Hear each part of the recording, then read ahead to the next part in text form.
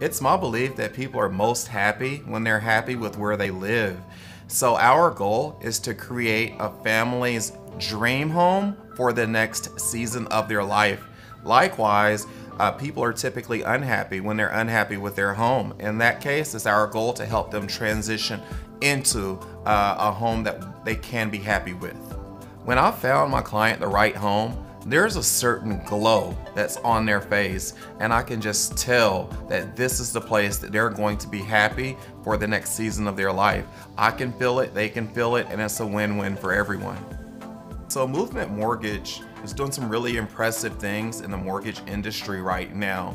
I consider myself to be a negotiation expert, and that's one of the ways that I add value to people that are purchasing homes. We negotiate prices 3% lower than the market at this time. The way that movement fits into that is we're having homes underwritten on the front end and doing as much legwork as possible on the front end. That term allows us to get the best price for the home for our buyers. In many cases, they're getting homes 3% less than the market.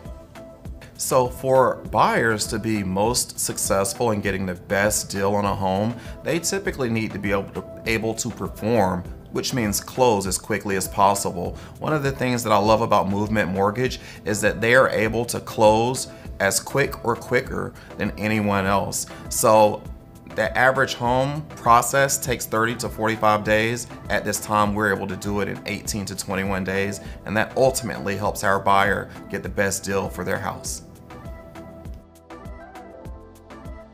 For more information on home loans, visit movement.com.